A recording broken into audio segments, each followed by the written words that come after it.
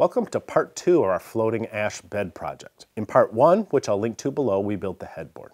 That can be a standalone project if you already have a steel bed frame, but today we'll build the rest of the bed. I think you'll find this two video series full of good ideas that you can apply to a wide range of woodworking projects, including beds. We already joined boards with dovetail ties and we template routed the legs. Now we'll create knockdown joinery for easy disassembly, including with locking rabbets and homemade brackets, and with simple dovetails, which are made easy to cut with a little handsaw jig. We'll create a springy platform for extra comfort without a traditional box spring, and the bed itself will appear to float above the floor with no visible legs. If you wish to build this bed, or one of a similar design, we have a set of very detailed plans, including step-by-step -step instructions, cut lists, drawings, and dozens of photos that you'll find in the plan section of our website at stumpynubs.com or at the link below this video. Or you can just enjoy the videos and pick up some tips along the way that may be applied to other projects. Either way, let's get started. The two corners of the foot of the bed frame will be joined with big dovetails. And since there is only one tail per corner, they're easy enough for just about anyone to cut by hand. A few years ago, I got a magnetic dovetail guide from fellow YouTuber Jonathan Katz Moses.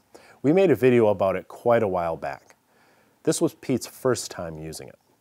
It guides your saw at the proper angle via rare earth magnets. I think it works best with a pull saw that can flex a little bit as you move your arm back and forth. One dovetail is cut on each end of each of the frame's side rails. Then they're traced so matching sockets may be cut on each end of the frame's footboard. This little jig may be used for both halves of the joint, and even a power tool guy like Pete, who rarely hand cuts dovetails, found it relatively easy to do the job this way. This jig is not sponsored. Jonathan is just a friend. I'll link to his jig below this video. The other two corners near the head of the bed are less likely to be seen, so I go to the trouble of making fancy dovetail joints when a simple locking rabbet or tongue and dado joint will suffice. The dado half of the joint is created with a router and an edge guide, and the tongue is created at the table saw. It doesn't have to be much of a tongue. This joint is for alignment more than anything else. In fact, neither these nor the dovetail joints will be glued together. Nobody wants a giant bed frame that can't be disassembled. The joints will be secured with homemade brackets instead. These are just 6-inch pieces of inch and a half angle iron. A drill press is used, along with a little bit of oil, to bore the screw holes. You could buy brackets if you wanted to. You can even buy fancy knockdown brackets. But these are easy to make, they're cheap and they're extremely heavy duty, which is important. You don't want flimsy brackets on the corners of a big bed so it racks and breaks when you try to slide it on carpet. These 2x4s serve an important purpose. Actually, they're 2x3s, and they're attached inside the bed frame to support the slats that will be installed later. Screwing them in place looks pretty straightforward, but you better be sure your screws are just the right length, because you don't have a lot of room for error when screwing through inch and a half of material and into three quarters of an inch of material. That's not a lesson you want to learn the hard way, let me tell you. Once all four of these rails are installed, it's time to make some more brackets. These consist of two wood blocks, screwed beneath the inner rails to create a notch into which the bed's main support rails can be slipped. This is another part of the knockdown design. Speaking of main support rails, these are what support the legs beneath the bed frame. They're also made from 2x4s and the legs are screwed to them. Of course, notches must be cut in the legs first, you don't want the entire weight of the bed and all the people in it only supported by a couple screws. By attaching the legs several inches from the ends of the main support rails, the bed will appear to float. Don't believe me? Well, let's put it together and see. Told you, you can't see the legs from the outside of the bed. It's almost like magic. The headboard now gets connected with screws as the ends of the bed frame rest upon the blocks on the bottom of its legs. Again, the weight is supported by more than just screws alone, so it's chubby proof.